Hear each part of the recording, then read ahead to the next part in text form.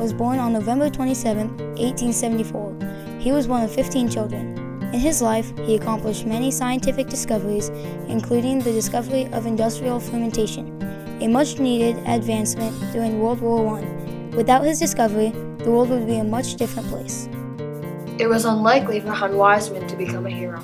I think it's important for people to learn about Chaim Weizmann because uh, he shows that the power of one person, um, what power one person has to make a difference in this world. Because he came from the tiniest town in Russia, and it would have been easy for him to think he's nobody uh, and he doesn't make a difference. Jewish people at the time, um, we did not have our own country, our own state, uh, and the conditions were not so good for uh, the Jewish people. His intellect, he got a good education, and he persisted in what he was doing, and because of that, he became a world renowned scientist and a great leader who helped establish the state of Israel.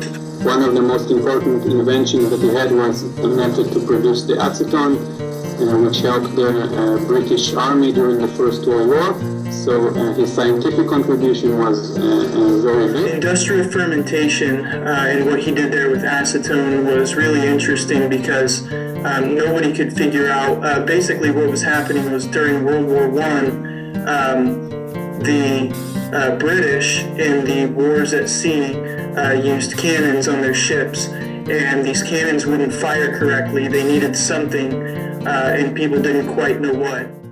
The leadership of Great Britain offered a reward to any scientist who could find the solution to their problem. Uh, the solution turned out to be this um, little microbe that's found in uh, corn mash, and Chaim Weizmann had uh, discovered that this microbe actually worked as a fermentation product that would eventually help the production of acetone, which is what the cannons needed to fire correctly. His discovery was an accident, and his lab partner told him that he should throw it away because it was just a waste of time. But Chaim Weizmann decided to keep it because he thought it might be useful for something in the future. And then, sure enough, he realized that that was the product that was useful for industrial fermentation of acetone. So when uh, Winston Churchill announced this reward, uh, Chaim Weizmann stepped forward and said, I think I have the answer.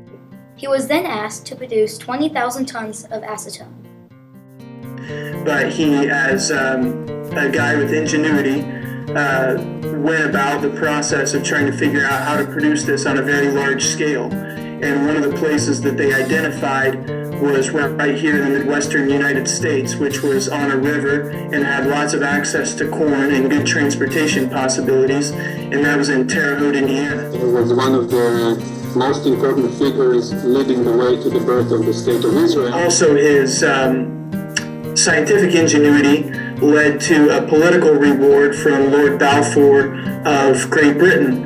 Uh, and that political re reward helped to establish the State of Israel. Uh, because of the First World War, the British got the mandate to rule in Palestine, and they did help a lot to the Zionist movement, and don't forget, Weizmann was the president of this movement, to uh, um, um, to work toward independence. Chaim Weizmann was a leader during the Zionist movement, and when the British tried to award him for his great service during World War I, he said he would rather create a homeland for the Jewish people. This would lead to the Balfour Declaration and British support for Jewish homeland. The outcome of both First and Second War helped lot Weizmann to push ahead um, the project if, if I may say, of, um, of the state of Israel. Weizmann's dream of Israel becoming a state finally became reality on May 14, 1948. This is when he became the first president of Israel. After the Second World War and after the Holocaust, there was no question that the Jews have a right um, uh, for independent uh, state, and Weizmann knew it very well. But let me emphasize one thing. Weizmann and his colleagues uh, did succeed to um, um, um, to establish Israel in 1948 after the Second World War, not because the Holocaust, but in spite of the Holocaust. Israel needed strong leadership, and Chaim Weizmann provided that by leading them through a war as they were surrounded by hostile enemies. Israel is now a thriving democracy and a safe haven for Jewish people and other people throughout the world. During the first years of Israel, uh, it was a very tenuous time, as you can imagine, um, because some people, uh, some leaders in the Middle East, uh, were not um, happy with the establishment of Israel, and there were uh, wars and those sorts of things. Um, so it was very important right at the outset for the leaders of Israel to defend itself, uh, and he helped to guide Israel through that time. Chaim Weizmann was president until 1949. He died 10 years later in 1959. He also, part of his scientific work was uh, to build the Weizmann Institute and to build the Hebrew University to advance the science and research uh, in Israel. So this is something that uh, one uh, one of the lines that uh, he contributed a lot. Chaim Weizmann Institute, uh, it has produced a number of scientific and medical uh, innovations um, and produced a number of Nobel, Nobel laureates, uh, three of them actually uh, in the area of science. So um, through scientific innovation, uh, it's changing the world through the processes and products that it creates. Oh, I think of the hero, but just imagine that someone who has no country behind him, no budget uh, without him, he went all over the world uh, um, and convinced everybody from the state in the west to, to the Chinese in the east for the right of the Jews for independence.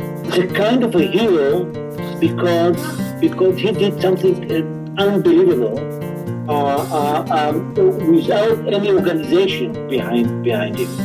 And, and if uh, Herzl, um, the one who gave the Zionists the vision of independence, uh, um, was which was something very, you know, theoretically, practically, he is the father of the state of Israel. So it's a kind of a hero, no doubt, no doubt about it. The Weizmann Institute is one of the leading research institutes uh, both in Israel and all over the world. Uh, we are working there on mostly on basic research in the fields of physics, life sciences, biology, chemistry, biochemistry, computer, and mathematics. Chaim Weizmann founded the Weizmann Institute of Science in 1934. The institute was originally called the Daniel Sieff Research Institute.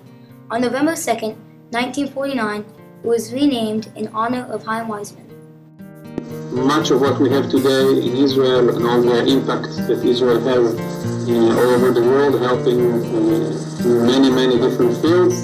Uh, this is uh, greatly thanks to the uh, work and efforts of Dr. Chaim Weizmann. And had it not been for Weizmann's invention and the production capabilities here in the Midwest, then World War I probably would have turned out much differently, and the whole course of history from there on out would have been much different. Chaim Weizmann's discoveries prepared the world by helping allies win World War I. His discoveries are still preparing the world today through products produced by industrial fermentation